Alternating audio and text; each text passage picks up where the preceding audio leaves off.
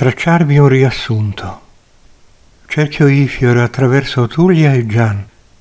Non è nostra intenzione tracciarvi un riassunto del processo evolutivo del corpo acasico, coscienza, perché risulterebbe di difficile comprensione ai più e senza dubbio manchevole, perché è impossibile tratteggiarlo con poche parole.